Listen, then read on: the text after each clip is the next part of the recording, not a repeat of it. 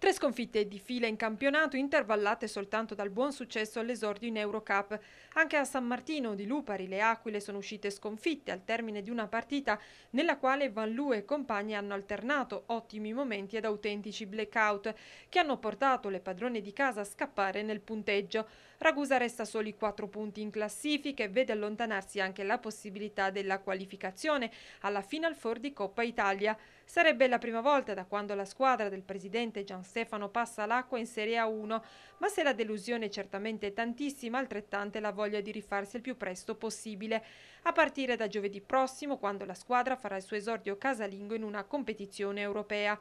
Probabilmente la partita di Supercoppa a Schio ha fatto perdere di vista la realtà e in aggiunta le due prime partite di campionato non ci hanno sicuramente aiutato, se non dal punto di vista della classifica, ma certamente non da quello delle cose da risolvere, afferma coach Lambruschi. Non dobbiamo dimenticare che siamo una squadra con sette giocatrici nuove e un conto è dare un gioco, un altro è dare uno spirito comune, una voglia di lottare insieme. Ovviamente nessuna scusa, ma la differenza tra noi e altre squadre è proprio quella dell'essere più o meno rodate dallo stare insieme, cosa che ti aiuta nei momenti di difficoltà e noi, come a San Martino, nei momenti di difficoltà ci siamo disuniti. Intanto la squadra, attesa da quattro partite casalinghe consecutive, il primo impegno è quello di giovedì 3 novembre alle 20.30 in Eurocup con il Nantes, seguirà quello di domenica 6 col Torino, quindi il 9 si giocherà ancora al Palaminardi contro il Ninebook, per finire sabato 12 alle 20.30 le Aquile saranno impegnate ancora in casa con Umbertide.